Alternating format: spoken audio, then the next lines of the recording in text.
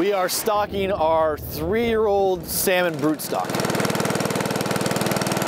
It's a very successful program. Yep. Um, and people love it. We have we have some monster fish on the truck today. You know, people are gonna love to catch them. Let's stock the fish. All right, we're ready to go.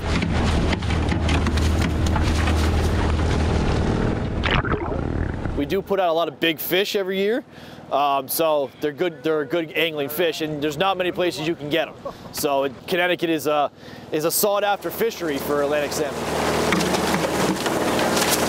To have these programs here in Connecticut is, is definitely something that I um, can gravitate towards, and I love taking out uh, students and the younger generation and showing them what it's all about. The Atlantic salmon, its Latin name is Salmo salar, the leaper. And there are people that come from everywhere, all around, to catch these fish. They fight harder than trout, pound for pound. They jump, and they just attract a tremendous amount of people. We're providing a put and take population for people to continue to catch.